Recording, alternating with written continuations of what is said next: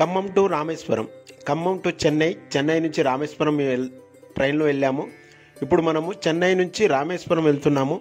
Present రామేశ్వరానికి Pamban bridge repair ఉండటంతో Pamban bridge మీద రైలు ప్రయాణించట్లేదు కాబట్టి ఆర్ఎండి స్టేషన్లో దిగి అక్కడి నుంచి మనం యాభై కిలోమీటర్ల దూరంలో ఉంటుంది రామేశ్వరం. అక్కడి నుంచి బస్సులో వెళ్ళొచ్చు.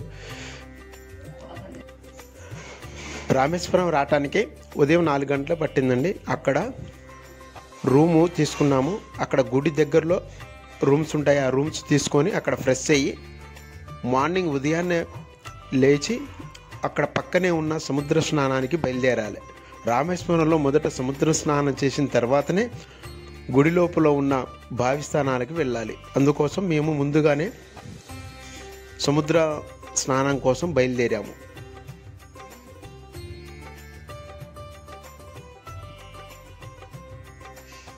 సముద్రానికి దారి ఉత్తర గోపురం ద్వారం నుంచి దారి ఉంటుంది.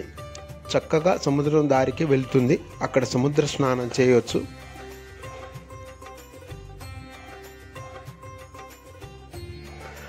రామేశ్వరం వెళ్తే శనేశ్వరం వెళ్తుందని ఇక్కడ భక్తులు ప్రగాఢ నమ్మకం. మేము కాశీ వెళ్ళిన కాశీ గంగా నీరు తీసుకొని రామేశ్వరంలో శివాలయానికి అభిషేకం చేయాలని వచ్చాము.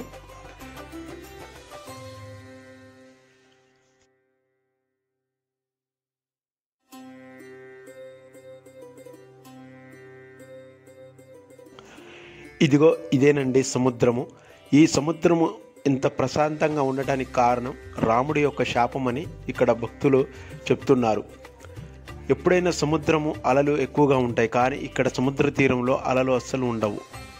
రాముడు రామసేతు వేసినప్పుడు అలలు వచ్చినప్పుడు రాముడు యొక్క శాపం వలన ఇలా ప్రశాంతంగా ఉంటుందని ఇక్కడ వారు చెప్తున్నారు. ఇక్కడ ఈ సముద్ర స్నానంలో స్నానం చేస్తే మనలో ఉన్న కోపం కూడా ఇలా తగ్గుతుందని ఇక్కడ భక్తుల యొక్క ప్రగాఢ నమ్మకం. ఇక్కడ సీతాదేవి శివలింగం చేసి ఇక్కడ ప్రతిష్ఠించింది కాబట్టి ఇక్కడ రామేశ్వరం అని పేరు వచ్చిందని చెప్తున్నారు. ఇక్కడ సముద్రంలో ఉన్న ఇసుకను తీసి శివలింగం చేసి పూజలు చేయించి మళ్ళీ సముద్రంలో నిమజ్జనం చేస్తారు ఇక్కడ భక్తులు. రాముడు రావణాసురుణ్ణి చంపటం వల్ల బ్రహ్మాత్య దోషం ఏర్పడింది కాబట్టి సీతాదేవిని ఇక్కడ శివలింగం చేసి ప్రతిష్ఠించి ఇరవై ఒక్క బావిలో స్నానం చేస్తే బ్రహ్మత్య దోషం పోతుందని ఇక్కడ సీతాదేవి ప్రతి రా శివాలయాన్ని ప్రతిష్ఠించినట్టు భక్తులు చెప్తున్నారు. ఇవేనండి ఇరవై ఒక్క బావులు ఇరవై ఒక్క దేవతలు ప్రతిష్ ప్రతిష్టమై ఇరవై ఒక్క బావులుగా ఏర్పడ్డారు. ఇక్కడ తీర్థాలన్నీ ఉంటాయి. వాటి పేర్లు ఉంటాయి. ఇక్కడ ఇరవై ఒక్క బావిలో స్నానం చేస్తే సకల దోషాలు పోతాయని భక్తుల ప్రగాఢ నమ్మకం. గుడి లోపల ఉన్న ఈ బావికి ఇరవై ఐదు రూపాయలు టోకెన్ తీసుకుంటారు.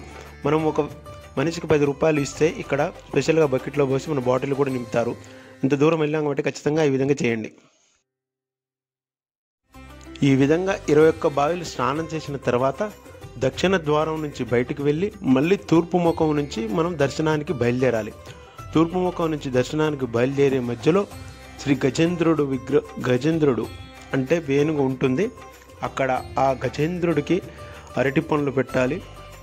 పది రూపాయలు ఇస్తే మనకి ఆశీర్వాదం కూడా గజేంద్రుడు ఇస్తాడు ఆ దారిలో. తర్వాత మనకి దారిలో మనం తీసుకువచ్చిన కాశీగంగ నీళ్ళకి యాభై రూపాయల టోకెన్ తీసుకొని మన ముందు ఆ శివాలయంలో అర్చన చేయిస్తారు. ఈ అర్చన చేసిన నీళ్ళు మనం ఇరవై ఒక్క బావి తర్వాత ఒక ఇరవై రెండవ తీర్థం ఉంటుంది. అది కోటి తీర్థము. ఆ కోటి తీర్థము ఈ శివలింగంపై అభిషేకం చేసిన నీళ్ళు మన నెత్తిన చల్లుతారు. దాన్ని ఇరవై ఇరవై రెండవ తీర్థంగా ఇక్కడ చెప్తారు. ఇదండి శ్రీ రామేశ్వరం యొక్క స్వచ్ఛమైన విగ్రహం.